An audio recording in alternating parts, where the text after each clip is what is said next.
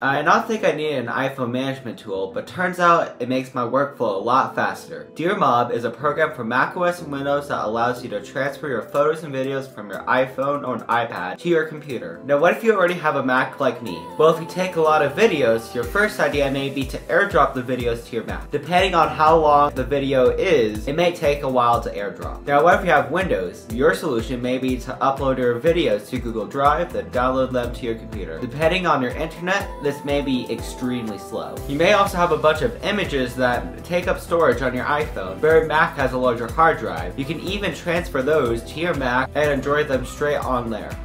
All you gotta do is plug in your iPhone or iPad to your computer. Open DearMob, press photo for photos and videos and movies for videos. Select all the photos or videos that you would want to move to your computer.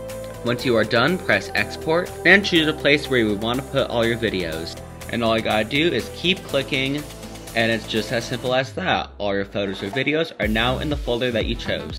Transferring photos and videos is not the only thing DearMob can do. It can also do an encrypted backup of your phone, photos, and music with the military-grade algorithm. Heck, it even allows you to add custom ringtones. You can also sideload IPA files and use your iPhone and iPad as a flash drive, which is very useful to me. If you ever have a problem with DearMob or simply just need help using something, you can contact their support team and they will get back to you within 24 hours. DearMob saves me a lot of time because Apple releases their beta updates all at the same time. This could be a little problem for me because of airdrop speeds. If you'd like to try out DearMob, the link is in the description down below. Watching, comment, like, subscribe, share this with your friends, and I'll see you in my next video. Bye!